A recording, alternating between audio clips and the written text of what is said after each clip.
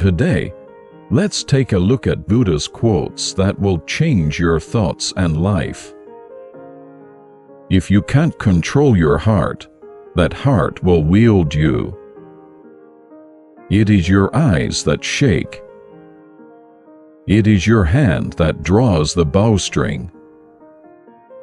It is your mind that doubts whether you can hit the target. The target is always in place. The suffering is not holding you, you are holding the suffering. No matter how hard the past was, you can always start over. So never be bound by your past. It's not about making the rest of your life painful. It was just a lesson.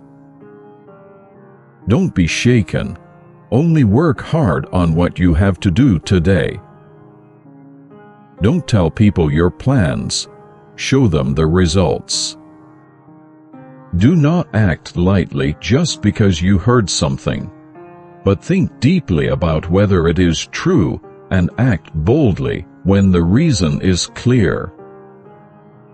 All disasters come out of the mouth. Don't talk in vain. Don't lie. Words must be sincere, truthful, reasonable, and timely. Don't say things that go against morality, and don't spread bad words here and there. Do not speak evil with your mouth. When others say evil things, don't try to repay them. If you speak evil, it brings suffering. Don't say anything that doesn't make sense, just tell the truth. This is the best teaching. A calm and thoughtful person is careful of his body, words, and mindset. They do everything carefully and head toward immortality without suffering. Control your body, be careful with your words, withdraw your mind, and cast away anger. Keeping anger in your heart is like drinking poison yourself and wishing the other person to die. To walk the path of the way, it is best to endure all sorts of insults and pains. Even if there are people who curse and point fingers at you, who are neither angry nor resentful. If you keep your mind calm and clear, and do not hold grudges, the fault will be returned to the one who pointed a finger at you. The cause of all suffering is greed. The foolish humankind is foolish, so it delights in greed. Greed binds the mind. It drives the mind to and fro and causes people to wander for a long time in a delusional life.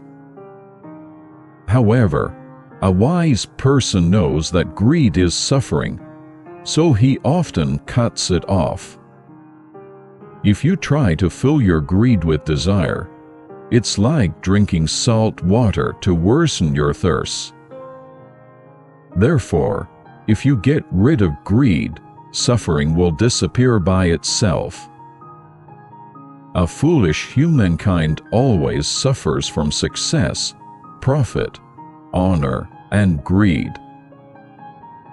A good man has no greed, so he looks beautiful wherever he goes. Even when they meet joy or suffering, they do not struggle or feel sad.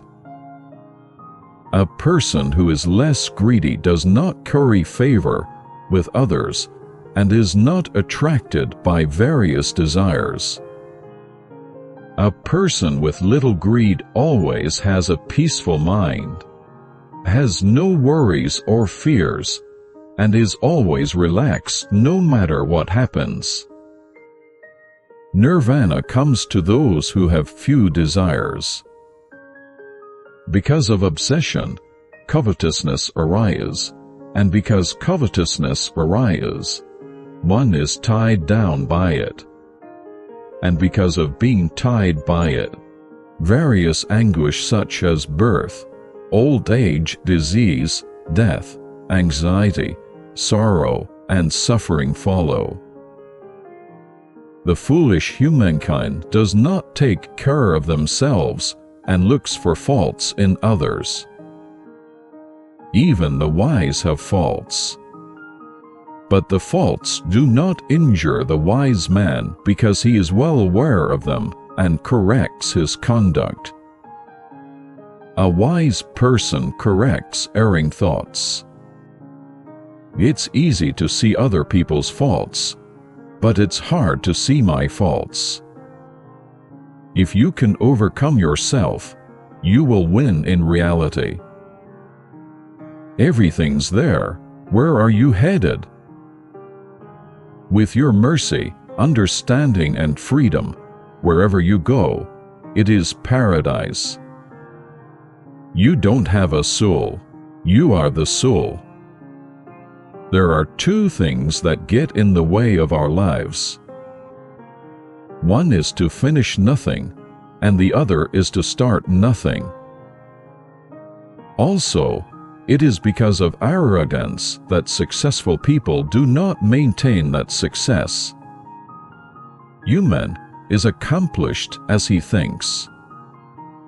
I do not believe in the existence of an approaching destiny that will not be shaken or changed under any circumstances. Concentrate on doing good. If you neglect to do good, your mind will naturally love to do bad things. If you ever did something bad, don't repeat it. To accumulate evil is to accumulate suffering, to accumulate good is to accumulate pleasure.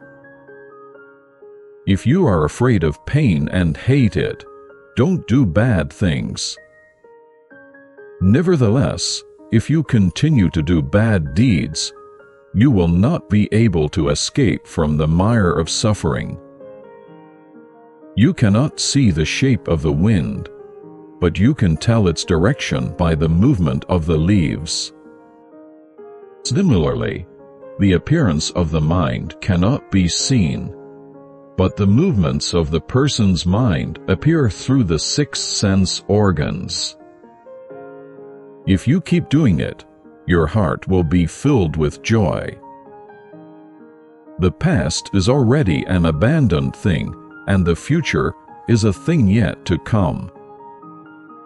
So observe the present. One day you will live where I need to be, with people destined to be with you and doing what I need to do. There are three important things left at the end how much love I have given, how dignified I have lived, and how glorious I have given up things that are not mine. Don't worry too much and live according to reason. Don't expect, don't judge. You don't have to wonder why it happened to you. Put down your thought which is so full to overflowing it's bound to break up. It's bound to change. It's bound to disappear. Everything is ephemeral. Therefore, there is nothing in this world that can be called mine. If you see things with this kind of bright wisdom, suffering will gradually disappear, and this is the way for a person to become clear. What was will pass away, and what was not will return.